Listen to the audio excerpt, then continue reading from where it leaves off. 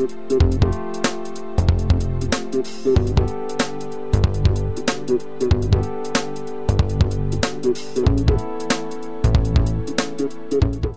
I always tell them beforehand I'm a hydroclimatologist. And I do that for one reason alone, is that nobody really knows what it is.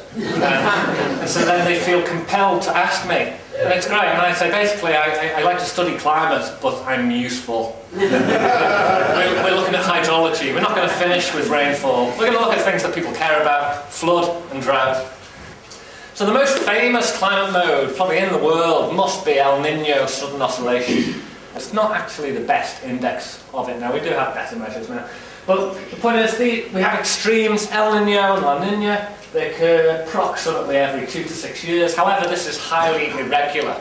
On the left here we have the rainfall data, and uh, on the right here it's runoff. And all this is showing simply is when we look at the runoff gauges, we see in fact that it's completely dominated by uh, a doubling of flows in the river system. And the reason it magnifies from rainfall to runoff is that land surface hydrological processes, or what we call non-linear. If you dump one unit of rainfall on a wet catchment, that unit's going to become runoff. If you dump one unit of rainfall on a dry catchment, maybe nothing will run off. Less well known is, is a relatively new index called the Interdecadal Pacific Oscillation. Um, American researchers have also defined what they call the Pacific Decadal Oscillation. It's essentially the same thing, just with a different name. And importantly, it's a low frequency, a long cycle, and it, it appears related to global epochs of warming and cooling. But the important thing for us in Australia is that it appears to modulate, or at least be associated with, uh, the impact of individual El Ninos and La Ninas, and perhaps more importantly, the frequency of El Nino events and La Nina events. And the important thing here is we've got both the IPO and PDO, we see marked changes around 1945, around 1975, and these are perfectly in line with known changes in Australian climate that published well before the IPO existed. This is the A global temperature anomaly series, but if we go to the next, we actually see that we can break that down, and we can see there's a very rough breakdown, but we can see periods of cooling, periods of warming, periods of cooling, and then periods of warming again. This rate here is pretty much the same as this rate there. CO2 not going up here, CO2, up, CO2 going up here. Now this is just the same as the earlier plots, but this time we're not looking at El Ninos, we're looking at how La Nina events that occur in what we call the IPO negative period to all the non-negative La Ninas. And again, rainfall and stream flow. We saw in the ENSO stuff that we had a 50 to 100% increase in rainfall in La Ninas compared to El Ninos. When we separate the La Ninas into their different IPO classes, we see that we get an additional increase, again, an additional 50 to 100% increase in rainfall and over 100% in stream flow. So this IPO, this slowly varying um, phenomenon, appears to increase the impact of La Ninas over standard La Ninas. This is an annual maximum flood series. It's the highest flood in any given hydrological year. And what we can clearly see here are periods where we have relatively low flood risk, followed by relatively high flood, uh, flood risk, and then back to low again.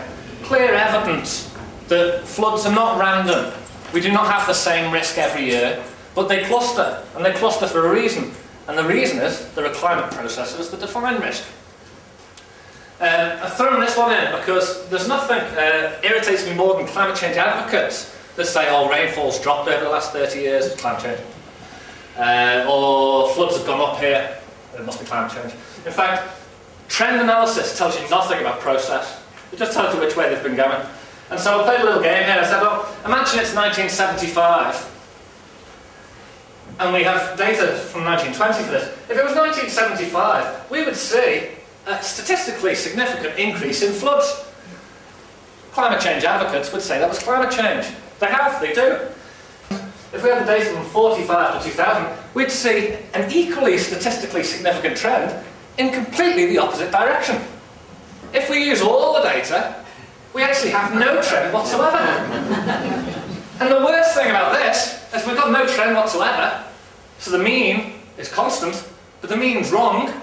And the reason the mean's wrong is we've got two dry periods and one wet. It's not a fair sample. We've only got one of these and, and two of them. It's just not fair. I need to take a bit of an explanation. This is the degree of flood risk. This is, this is bad floods. This is not so bad floods. And this is the um, return interval. This is how often we would expect uh, a flood of a given magnitude. And when we, when we plot the El Niño, the highest floods in the El Niños, they, they create this flood frequency curve. When we do it with the La Niñas, we get a very, very different uh, curve here. And basically what this says is, if we have 100 El Nino years, the flood risk would be about the same as the flood risk in every two or three years that we had La Nina. So these are very, very different regimes. You do not get floods, widespread floods in El Nino you must expect them in La Niñas. Um, it's worthwhile just plotting the data as a function of just the IPO, and we find the negative curve here, the IPO negative period, the cool period, gives a very high flood risk compared to the non-IPO negative. The solid line here represents what engineers would call the 100-year flood risk.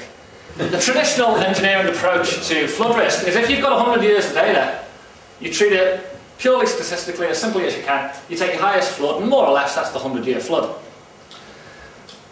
This, this line represents the 100-year flood, and if we follow it down on the IPO negative, what it says is every, if we have an IPO negative period, or if we're in an IPO negative period, every 15 years on average we would expect a 100 year flood. 100 year flood every 15 years. Which is why when you look at planet records, you find your floods cluster engineers are giving up on the idea that climate risk is static and recognising that it's variable, whilst at the same time, 30 years ago, if you asked a climatologist if climate was static, they'd have said no. But climate change scientists implicitly assume climate static and anything that's different must be climate change. We've had a complete role reversal.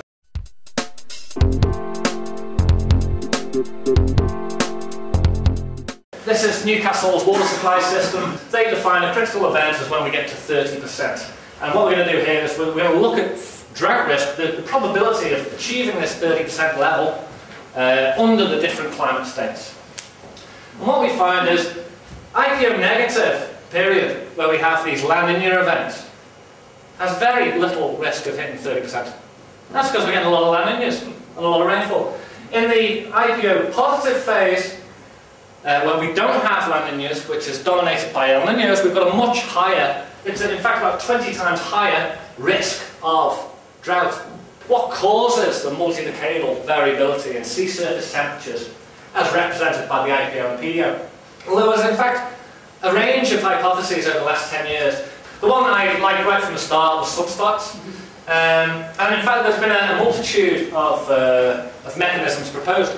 The one, when I started giving this talk, that I thought was the most outrageous, the solar modulation of cosmic wind. Yeah, that sounds like, I don't know, Captain Kirk with the, beams or something. But it's a, this was the most preposterous when I, when I actually first gave this talk to engineers, probably seven years ago now. But it's turning out that this one's actually the most favoured. This is a statement from the IPCC Working Group 1. And they said solar variation varies more substantially in the UV region, and studies with climate models and in fact without climate models, suggests that the inclusion of spectrally resolved solar irradiance and solar-induced ozone changes may improve the realism of model simulations of the impact of solar variability on climate. Yeah. Think importantly what that says is the models are actually wrong. that's what they're really trying to say. But that was 2001 and I, I don't know what they're saying now. Yeah.